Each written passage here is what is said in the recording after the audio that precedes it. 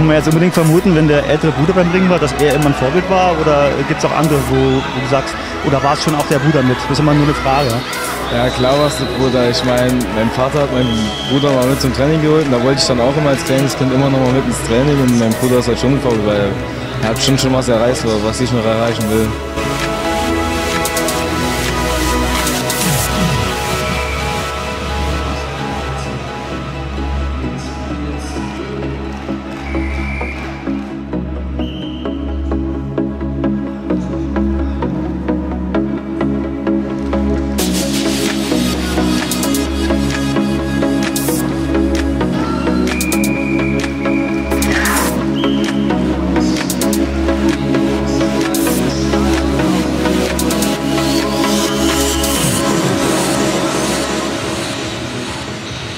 Durch meine lange Verletzung jetzt war nichts klar. Ich musste mich jetzt zurückkämpfen. Erster Kampf gleich, sag ich mal, vorgezogenes Finale und dann wurde da alles entschieden. Da habe ich ein bisschen Mut gefasst und dann ging es aufwärts. Bis jetzt gehst du nach Hause nach Westendorf. Wird es noch einen Empfang geben? Weißt du das? Ich denke mal schon, oder? Ich weiß von nichts, aber ich kann es mir schon vorstellen. Ja, das wäre typisch für uns. Ja.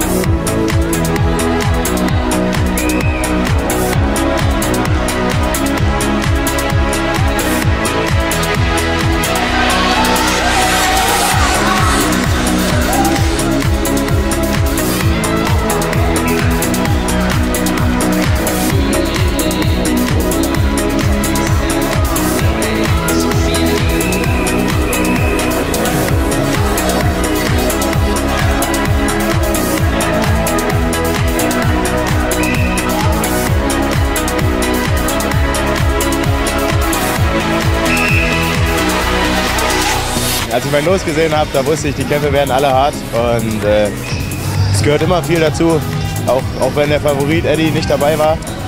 Also ich würde sagen, also ich hatte nur schwere Kämpfe. Der erste Kampf gegen meinen Trainingskameraden, da habe ich mich sehr schwer getan. Dann auch mit, äh, mit Jelo Kramer, einen aufsteigenden jungen Athleten und dann auch im Finale, der, total überraschend.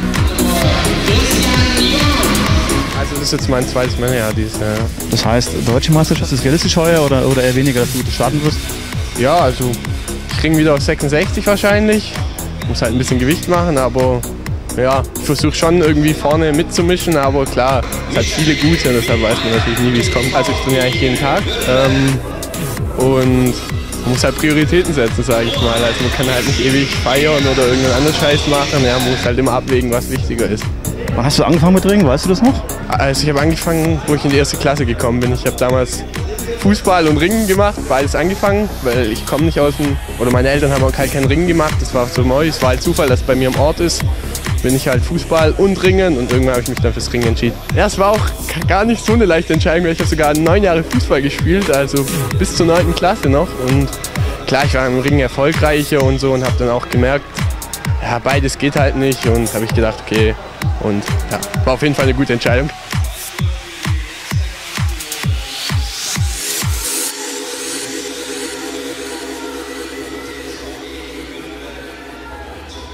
Boom, herzlichen Glückwunsch, Deutscher Meister 2016. Ich habe gerade gehört, du bist erstmals Deutscher Meister bei den Männern, stimmt das? Ja, das stimmt. Das ist auch ein unglaubliches Gefühl. Ich habe zwar, ich kenne zwar meinen Konkurrenten, der im Finale auf mich zugetreten ist. Wir haben auch viele Kämpfe miteinander bestritten. Aber heute war ich wieder mal der Glücklichere und ich bin froh darüber. Es ist einfach ein unglaubliches Gefühl, erstmals deutscher Meister bei den Männern zu werden. Kann man das mit Worten beschreiben, wenn der Schlusspfiff ertönt und man weiß, man registriert, jetzt ist man deutscher Meister, da fällt ja so ein Stein vom Herzen. Kann man das mit Worten beschreiben? Das Gefühl ist schwierig. Es war für mich sehr schwierig auf jeden Fall. Der Kampf ging ja, sage ich mal, richtig mit Power und allem drum und dran los. Und nach dem Schlusspfiff ist man erstmal zwei erleichtert, aber man äh, begreift das erst später, wenn die Leute auf dich zukommen und dann sagen Glückwunsch und so. Wie gesagt, ich konnte es äh, nicht fassen. Momo, wann hast du angefangen mit Ringen? Mit wie vielen Jahren? Weißt du das noch ungefähr? Ja, ich habe mit sechs Jahren im Ringerkindergarten angefangen. Okay. Ja, mein Vater war halt Ringer und ich bin dann über meinen Vater ins Ring gekommen. Also war der Grund der Papa, weswegen du zum Ring gegangen bist, oder? Überwiegend. Genau, mein Vater war der Grund. Es gab auch mal in der Jugend halt äh, kleine äh, Schwankungen, Fußball zu ringen, aber dann habe ich mich später fürs Ringen entschieden.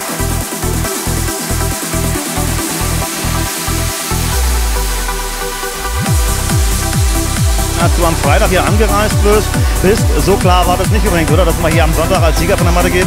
Nee, klar war es nichts. War klar ein gutes Teilnehmerfeld, auch wenn vielleicht der ein oder andere gefehlt hat. Aber trotzdem mit Jan Rotter, Adam Jurecko, vor allem die Jungen mit dem Karan Mosebach, die jetzt nachkommen, das sind schon harte Brocken, die man erstmal besiegen muss. Ja, das habe ich auch gemerkt. Diese Meisterschaft in diesem Jahr war eine gute Mischung aus den alten, eingesessenen äh, Athleten, aber auch die, der, der Nachwuchs jetzt bei den äh, Junioren. Da ist schon eine gewisse Stärke auf Beine, merkt man. Ja, auf jeden Fall. Es sind, glaube ich, heute vier Junioren im Finale gewesen. Also das zeigt auch die Klasse von den jungen Leuten, dass die nachkommen und uns Älteren auch das Leben zur Hölle machen. Ja. Ja, jetzt Ziel, ja, der hat mich halt klar in den letzten drei Jahren, unter dem ich jetzt bei ihm trainiere, hat er mich halt richtig geformt. Und ja, das ist halt die Zusammenarbeit mit mir und Tertil, das passt gut, wir verstehen uns gut und da macht das Training auch Spaß.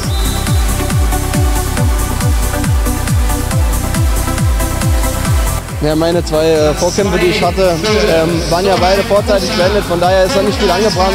Aber ein Finalkampf ist immer ein Finalkampf.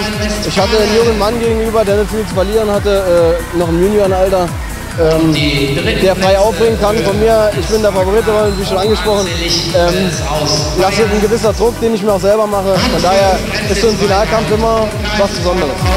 Jan, kann man mit Worten beschreiben, wenn überhaupt, wenn der Schlusspfiff ertönt und man weiß, jetzt ist man deutscher Meister, was geht da durch einen durch? Kann man es registrieren oder registriert man es erst viel später, dass man deutscher Meister ist? Eigentlich? Ja gut, wie gesagt, es ist, eine, äh, ich, äh, es ist mein erster. Ähm, aber trotzdem ist es immer wieder schön, mal ganz oben zu stehen bei nationalen Meisterschaften. Ähm, ob die Konkurrenz jetzt alle da war oder nicht, das ist nichts, was ich in der, was, was ich in der Hand hatte. Ähm, man trainiert viel, man leistet viel, man lebt danach. Und dann ist das immer irgendwo klar eine Genugtuung und äh, gibt einem viel zurück. Auf jeden Fall wusste ich, dass es nicht leicht wird. Äh, ich habe gewusst, dass ich ein paar zu schlagen habe, die stark sind. Hat aber gut geklappt, muss ich sagen. War unerwartet auch so klar auch gegen äh, Felix Radinger und gegen auch andere Jungs. War gut, muss ich sagen. Leicht war es nicht. Ich habe halt versucht, mein Ding durchzuziehen. Hat gut geklappt. Ich denke, dass ich, also ich hoffe, dass es so weitergeht und sehen wir dann weiter. Ja. Edgar, kann man das mit Worten beschreiben? Wenn der Schlusspfiff erpfeift und man weiß, man registriert, jetzt ist man deutscher Meister. Das ist wirklich schwierig, weil einfach eine Erleichterung. Das kennt jeder, der was erlebt hat. Ich meine, das ganze Druck, dieser Stress geht auf ja, einmal weg mit dem Pfiff. Und danach ist man wirklich erleichtert. Ja.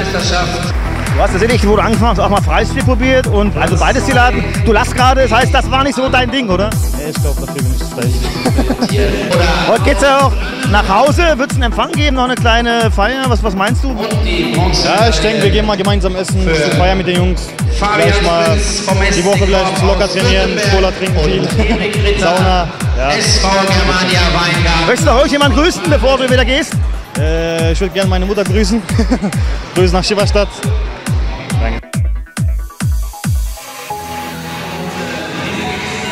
Ja, ich bin mit viel Spaß hierher gekommen. Die Medaille war vielleicht ein kleiner Traum. Dass es jetzt natürlich bis ganz nach oben gereicht hat, ist natürlich ja, grandios. Ja, ich glaube, so richtig mit Worten kann man das nicht beschreiben. Es fällt äh, ein enormer Druck von einem ab. Ne?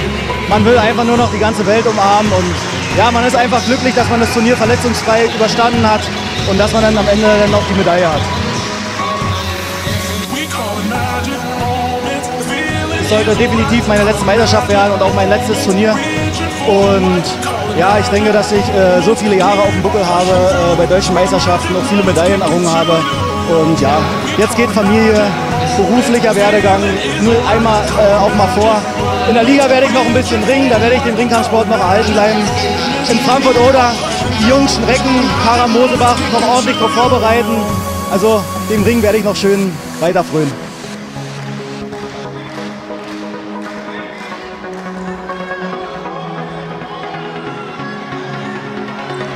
Sonnenklar war das nicht, nein, es war eher äh, andersherum. Also die Favoriten waren doch äh, der Matthias Marsch und äh, auch der, ähm, der, der, der, Schwabe.